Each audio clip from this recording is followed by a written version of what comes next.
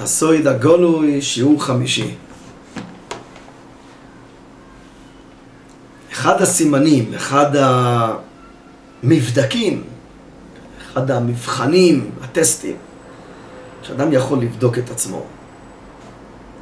האם באמת יש לו אמונה וביטוחן? וכמה אמונה וביטוחן יש לו?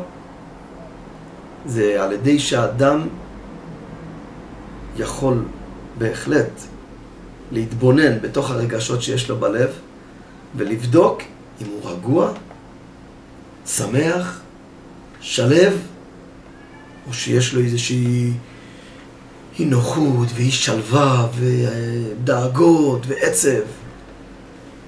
כך כתוב בהרבה ספרים, בפרט בחורים עשה לבובויס, שזה אחד הסימנים שאדם יכול, כל אחד יכול לבדוק את עצמו, הלב יודע אם הוא רגוע, אם הוא שלב, אם הוא שמח, או שאין לו את זה. כי כל הספר הסוד הגולוי הזה, כמו שאמרנו, זה לא מדבר דווקא על אחד שהוא הגיע או מתיימר להביא את הבן אדם למקום של ניסים, של נפלוא, של למענו בדרך הטבע, של אפילו להיכנס למוקם סקון. לא, לא, לא. הספר הסוד הגולוי בא לדבר לרוב ההמון עם. שהם לא במדרגה גבוה כזאת של אמונה וביטוחן, שכבר יוכלו לא לעשות שום משתדלס, כמו שכתוב על הר באוסו כרב שמעון ולא אלצו ביודום, אומר הקוצקר. למה לא אלצו ביודום? כי הם לא היו רבי שמעון, הם עשו כרב שמעון, וכן יש נוחמך, אי אפשר לעשות כמו רב שמעון. אתה צריך להיות רב שמעון כדי להיות טוב. אתה לא יכול לעשות דברים כאילו אתה שם. לא.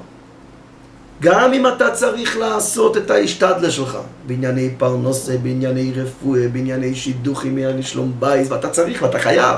ובירכתיך בכל אשר תעשה, כתוב בתוארת. אתה צריך לעשות השתדלס, בכל תחום, בגשמיס וברוכניאס.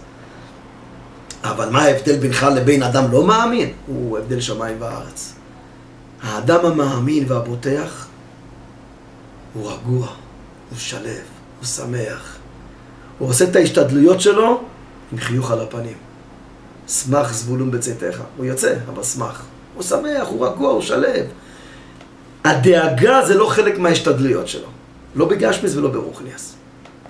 החלק של ההשתדלות זה רק הדברים המעשיים שצריך לעשות. כמה לעשות? כמה השתדלס? זה כבר הבדל. כתוב במפורש בליקוטה לוחס ברמנוסו ועוד ספרים.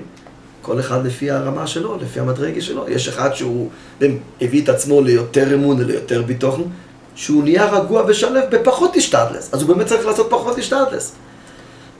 יש אחד שהוא צריך לעשות יותר השתדלס, כי הוא עדיין לא רגוע ושלב.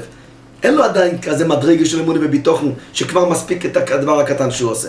ולכן, על פי הלוכה, על פי השקופי, הוא צריך לעשות עוד קצת השתדלס.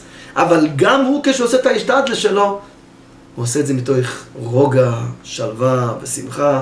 ובואי נשלו אלוהים, עשיתי את מה שמוטל עליי, עכשיו אני סומך ונשען על הרחמים שלך, שתוציא מכך אל הפועל להביא לי את כל מה שאני צריך.